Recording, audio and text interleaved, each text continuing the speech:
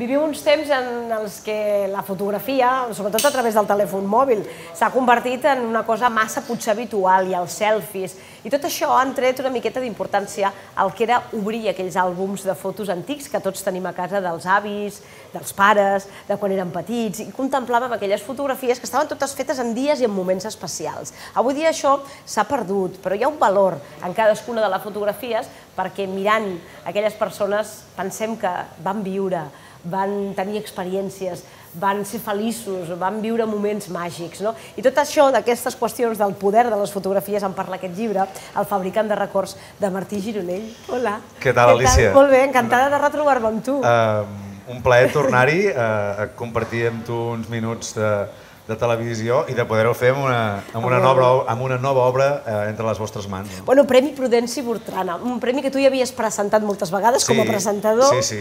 Bueno, fa molta il·lusió perquè és un premi... Jo sóc de les comarques de Girona, sóc fill de Besalú, llavors és un premi, els Premis Literaris de Girona, que es, es lliuren a Girona, però la vocació és nacional, diguéssim. No? I sempre l'havia seguit, l'havies vist, llavors ja quan em van demanar per presentar-lo va ser un, una alegria enorme no pas cada any, cada dos, tres anys, però el vaig anar presentant durant moltes edicions. No? I també després eh, els autors o autores que guanyaven em demanaven que els hi presentés la novel·la a les llibreries, per tant és un premi, un premi que l'he sentit i l'he tingut molt a prop. No?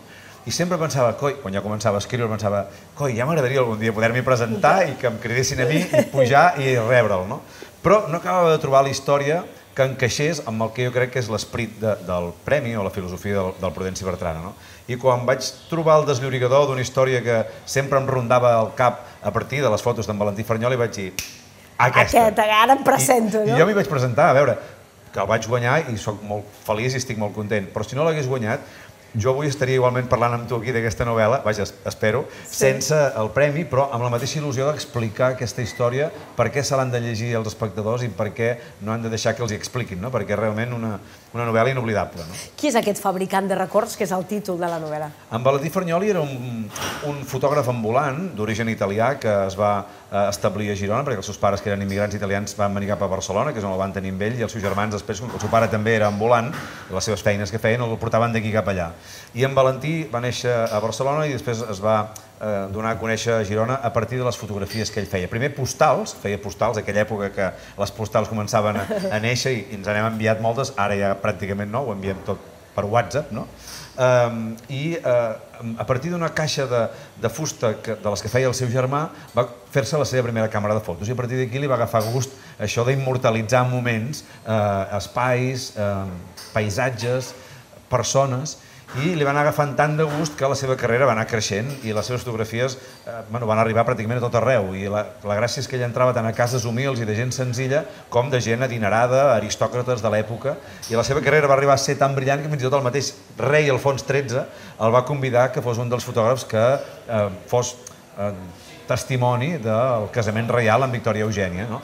I, i clar, dius, quan vas coneguent tot això dius, jo vull explicar la història d'aquest home perquè darrere de les seves històries, de les seves fotografies, pots recórrer bona part de la nostra història, almenys com a mínim dels primers 40 anys del segle XX. No? Mm. La veritat és que, com deia jo al principi, no, quin poder tenen les fotografies, perquè si recordem, per exemple, capítols de la història, que ens hem de basar en potser escultures, en quadres, en, en potser petites eh, dibuixos que s'han sí, fet sí. sobre personatges històrics, però la fotografia en personatges històrics i anònims. Sí, ja sí. ens situa molt més? Jo trobo que sí, que, que la fotografia, i és el que també volia amb aquesta novel·la, eh, tornar-la a situar en el, en, el, en el centre de les nostres vides, diguéssim, perquè ja hi és, però l'hem banalitzat tant, com tu deies, que amb els selfies, que si la galeria del mòbil, que tenim els filtres i ens podem pensar que som aquí un Robert Capa o un Fernyol i qualsevol. Sí. Dius, no, abans, en aquesta època, a principis del segle XX, la fotografia comença a entrar a la vida de les persones i els hi ensenya aquesta capacitat que té d'immortalitzar moments no? que seran irrepetibles de persones que no tornaran mai més. Per tant, t'està fabricant uns records, eh, t'està connectant amb el cor. Jo com vaig saber que recordar ve del llatí i recordar-hi, tornar a passar pel cor, vaig entendre aquest poder que té la fotografia, no, no només d'encapsular moments, de deixar constància gràfica d'allò que hem, hem, hem sigut i que vam viure, i que vam, sinó que a més a més té tot un altre poder que és aquest, no? el, de, el que t'aboca un record, de vegades secrets, de vegades històries que pots eh, entreveure d'aquells personatges o d'aquells indrets, perquè no només hi ha, hi ha persones que et miren i t'interpel·len des del passat, sinó també hi ha llocs, hi ha moments, hi ha això que deies tu, no? eh, paisatges que ja no hi són, que han desaparegut. No? I per tant, és una memòria personal i col·lectiva que està cridada a desaparèixer, però que en canvi queda allà conservada, capturada, gràcies al poder de la fotografia que t'aboca el que tu vulguis. Vull dir, no, no hi ha... Un, encara que estiguin allà tancades, allò té, jo crec, un poder de suggestió enorme. No? Home, és obrir un àlbum antic de Ui. fotografies de la família i tots fem un pas enrere en el temps. Total. Tornem a la infantesa. No, no, mira, els meus fills, que són petits, tenen 10 i 6 anys, és una anècdota que sempre l'explico perquè eh, demostra encara ara el poder que té la fotografia. Sempre hi ha algun moment o altre, en un cap de setmana, que et diuen eh, papa, mirem fotos de quan eren petits. Tenen 10 i 6 anys, eh? Dic, va, dic, voleu dir de quan éreu més petits, no? Els faig la broma, perquè ara ja se senten sí. grans. Però em refereixo a l'anècdota a part el fet no, que nens que ja estan molt acostumats als vídeos i tal, i en tenim de vídeos d'ells, però et demanen les fotos. Per tant, què deu tenir, quin és aquest magnetisme tan especial que té la fotografia, que ha capturat, i a més a més si ets un fotògraf bo, com és en el cas d'ell, de Valentí Farnioli, que ha capturat la, la jo dic l'ànima no? d'aquella persona, d'aquell moment, d'aquell lloc, i queda allà encapsulada, i és, jo crec que és aquest poder no? el, que, el que et continua emanant de la fotografia i que fa que fins i tot els nens petits encara ara diguin a veure, a veure, quan érem petits, què, què fèiem? I, I estan allà i molt millor, i de la foto tens el vídeo, però s'estimen més la, imatge. La imatge, no? la fotografia. Eh, com desenvolupes tota la història eh, del protagonista eh, convertida en novel·la, novel·lada, però Sí. basada en fets reals? Uh, Això sempre és un repte, oi? No, no, totalment. I aquí encara més, perquè és subvertir el tòpic aquell d'una imatge val més que mil paraules, és intentar, a partir de mm, uns quants milers de paraules, explicar imatges per transportar-te a una època i fer-te l'entendre i fer-te-la viure. No? Jo vaig conèixer Farnioli a partir de les seves fotografies, i llavors vaig voler conèixer l'època que va viure aquell home i conèixer l'home que havia fet aquelles fotografies. No? Veure què hi havia darrere aquest home que tenia aquesta perspectiva, que era capaç d'agafar eh, aquestes imatges amb aquesta llum.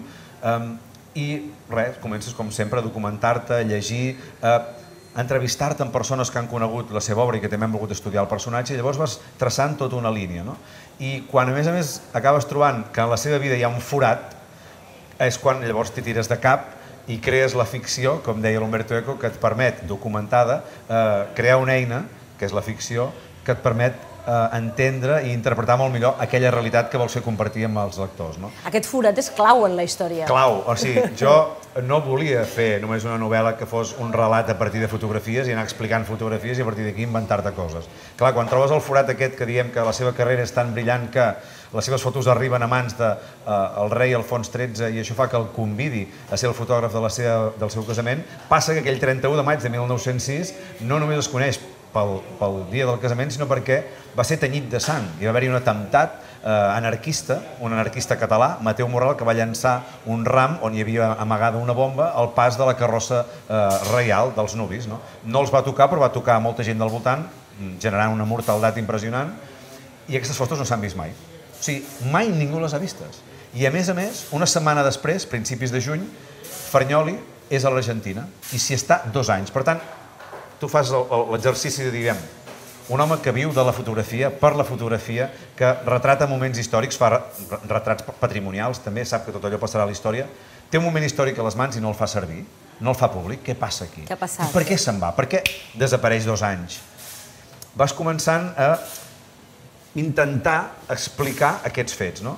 Ho documentes, vas mirant de buscar connexions, ho planteges a les persones que en saben més i els dius, això podria ser que fos així, així, així, així, així. No ho explico perquè és a la novel·la, Eh, no? no fem spoiler, Aquesta no? teoria és plausible, és creïble, és versemblant, i quan et diuen, sí, nosaltres, a partir del que planteges, de la documentació que coneixem i d'aquestes connexions, Podria haver estat podria així. haver anat així. I quan et diuen això, quan et diuen que és versemblant, és quan decideixes tirar milles i llavors ja és quan fas tot el relat, vas cosint les coses i de tant en tant va apareixent aquest enigma, aquest misteri, no? aquesta intriga de què passa amb aquestes fotos i per què.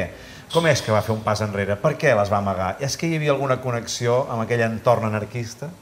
Claro, el fet de ser periodistes també es, feu que escriviu llibres d'una altra manera, penso jo, eh? No ho sí sé, no? veure- Perquè el ritme dels teus llibres, jo que m'he llegit diversos dels teus llibres, el ritme que, que portes, eh, la manera d'explicar les coses, és, té, té una vessant periodística, Sí, a veure, però novel·lada, no? Jo crec, és que, jo crec que el fet d'haver estat molts anys treballant en periodisme, tant en ràdio com en televisió, m'ha donat unes eines que et permet, com que jo per mi el llibre és un mitjà de comunicació més, a través del qual entretens, eh, comparteixes coneixements, eh, il·lusions, sentiments, però fer-ho de manera escrita, aquí en aquest cas doncs, és posar-te, a més a més, eh, en una, allò, en una camisa d'11 vares, a dir, doncs anem a explicar fotografies, que a vegades és més complicat, no? però sí que intentes que el relat sigui prou àgil com per animar el lector a anar avançant, uh -huh. no? anar avançant, anar avançant pàgina per pàgina fins a arribar al final i haver sigut conscient que has fet un viatge en bicicleta eh, per la història, pels primers 40 anys del segle XX, has conegut la seva vida i de retruc la vida de moltes persones que queden reflectides en molts àlbums de fotos i que, per tant, encara que no t'ho sembli, estàs recordant allò que t'explicaven els teus avis o que, o que havies sentit a casa que explicaven els teus pares, que els havien explicat als seus besavis.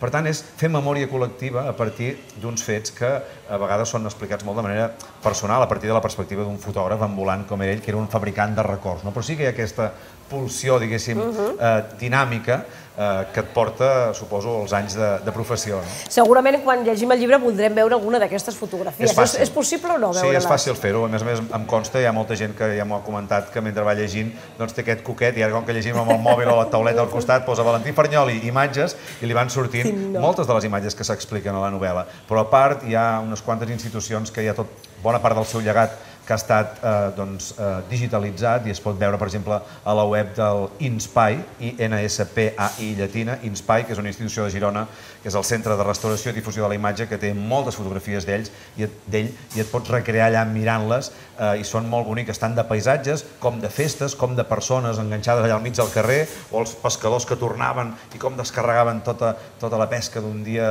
feinejant al mar. No sé, és, és això que et dic, és un viatge cap a una època fascinant, eh, lluminosa, malgrat tot, malgrat la foscor, malgrat la misèria que hi ha en aquell moment, i que això que t'aboca molts records inoblidables, no? I trobo que és un, un viatge que és, és molt gratificant de fer, no? tant per mi, que l'he fet primer per documentar i per després per escriure, com ara compartir-ho amb els lectors. No? Doncs Martí, moltíssimes gràcies, felicitats per aquest Gràcies. premi reconegut per aquesta Moltes novel·la gràcies. fascinant i aquest, Gràcies. com tu dius, aquest passeig per la història. Com sempre, vas trobant personatges... Sí, és una sort de poder-los trobar. Sí, que són petites joies, Sí, no? sí, que amb, amb diversos llibres teus... Els tenim, exacte, com el Paro Sí, Bach, l'arqueòleg, el en Ceferino Carrion, en Jan León, en La Força d'un destí. Són personatges a través dels quals Sí. eh, pots explicar bona part de la nostra història i són diferents moments que també s'han viscut i des de perspectives diferents et donen això, enfocaments diferents, com si fóssim en una televisió, diguéssim, Sí. no? el, el reportatge, aquí novel·lat i ficcionat, però et dona una perspectiva d'aquelles èpoques diferents, no? I trobo que l'exercici val la pena. Jo m'ho passo molt bé i el feedback que rebo tant dels companys com dels lectors